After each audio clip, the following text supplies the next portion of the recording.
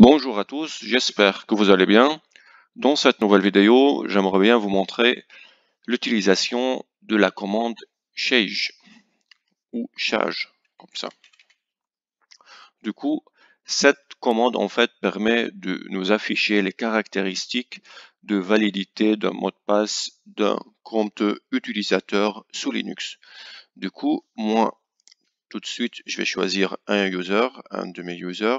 Du coup, je vais faire grep user5 slash etc slash passwd et voilà, c'est le user que je vais utiliser dans cette vidéo. C'est le user 5. Du coup, première chose, je vais utiliser la commande change avec l'option "-l pour ou afin en fait de lister ou d'afficher toutes les caractéristiques de validité du mot de passe de ce euh, utilisateur user5. Du coup, je fais change avec l'option "-l et le nom de l'utilisateur. Dans ce cas-là, c'est user5, comme ça. Et comme vous pouvez remarquer, en fait, il y a plusieurs lignes qui s'affichent. Du coup, la première ligne, en fait, c'est le dernier changement de mot de passe on peut regarder que le dernier changement de ce mot de passe, c'était le 25 août 2020. Le deuxième ligne correspond aux fins de validité du mot de passe, 9 heures, du coup, jamais de fin de validité de ce mot de, passe, toujours, elle restera, il restera toujours valable. Euh, password inactive, du coup, en fait, c'est le euh, mot de passe désactivé, du coup, jamais il va rester activé. Account expires, ou c'est le euh, fin de validité du compte en fait, ou c'est un compte d'utilisateur expiré, du coup c'est jamais. Euh, la cinquième ligne, c'est le nombre minimum de jours entre les changements de mot de passe. On peut dire euh, la durée de vie, du coup c'est zéro. Du coup, il faut tout de suite changer le mot de passe. Maximum, c'est le nombre maximum de jours entre euh, les changements de mot de passe. Du coup, il est open, en fait, il est illimité. Il n'y a pas de nombre maximum de jours entre les changements de mot de passe. Et la, la dernière ligne correspond au nombre de jours de warning ou d'avertissement avant la fin de validité de mot de passe. Et par défaut, on reçoit le warning ou l'avertissement avant 7 jours de l'expiration de mot de passe. Du coup, par exemple, si je vais changer euh, la date euh, de dernier changement de mot de passe, du coup, euh, cette ligne-là, le premier ligne, je peux tout simplement utiliser la commande change-d comme ça. Et là, je mets la date. Par exemple, je commence par 2020 par exemple.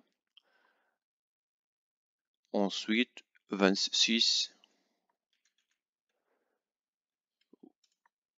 ou le nombre ensuite l'année le mois du coup je fais le 8 août pour par exemple et le jour c'est 26 il faut bien sûr préciser le username ou le nom de ce user. Du coup là c'est bon. Si je vais retaper chez l vous pouvez remarquer que le 26 août 2020, elle est bien, vient s'apparaître ici dans la première ligne. Last password change 26 août 2020 par rapport à 25 août 2020 tout à l'heure. Du coup, ça concernant l'option "-d afin de modifier la date de dernier changement de mot de passe. Pour modifier la durée de vie maximale de mot de passe de, de l'utilisateur user5, qu'est-ce que je fais? Je fais change grand M, je choisis euh, la durée, par exemple, je vais choisir 20 euh, jours par, ou 60 jours, comme ça.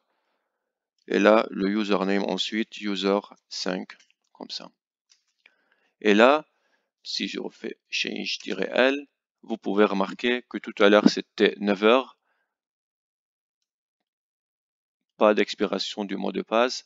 Et maintenant, le mot de passe expirera pendant après 60 jours, ça veut dire le 25 octobre 2020. Troisième option à utiliser, c'est pour modifier la durée de vie minimale du mot de passe, en fait. par exemple, le nombre de jours ou la durée de vie minimale de mot de passe, dans ce cas-là, ici, c'est 0. Il est à 0. Du coup, pour ce faire, pour changer, il faut utiliser change-m, petit m, par exemple 30 jours, user5, le nom de user. Et là, change-l, j'ai bien changé, on était à 0. Et là, j'ai bien changé, on est à 30 jours. C'est la durée de vie minimale du mot de passe d'un compte utilisateur user5. On peut aussi modifier la durée d'inactivité au, bout de laquelle le mot de passe est désactivé. Du coup, en utilisant change l'option grand i, je précise le nombre de jours, par exemple, euh, euh, n'importe 6 jours par exemple, et le user 5 ensuite, change-l, on voit bien que le password inactif ou le mot de passe désactivé sera le 31 octobre 2020. Tout à l'heure, c'était jamais. On peut aussi en fait modifier la date de fin de validité d'un compte. Par exemple, le compte user 5, euh, mon compte user 5, il est valable. Du coup, je peux si vous regardez là, account expires, du coup, mon compte n'expirera jamais. Du coup, je peux modifier et mettre fin de validité à mon compte.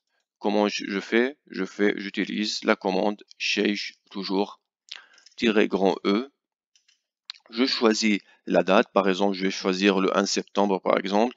Je commence 2020, le nombre, euh, le moins, et ensuite 01 je choisis user 5 comme ça. Et là, chez L, vous pouvez remarquer que mon le compte user 5 sera expiré le 1er septembre 2020. Du coup, je peux par exemple aussi euh, expirer le compte tout de suite. Je peux ou désactiver le compte d'utilisateur tout de suite. Comment je fais? J'utilise euh, la commande change euh, grand E et à la place de, de la date, je mets 0. Ensuite, user5, le username. Et là, si je regarde chez L, il va afficher le 1er janvier 1970 et ça veut dire que le compte est désactivé. J'espère que cette vidéo vous a plu. Merci et à bientôt.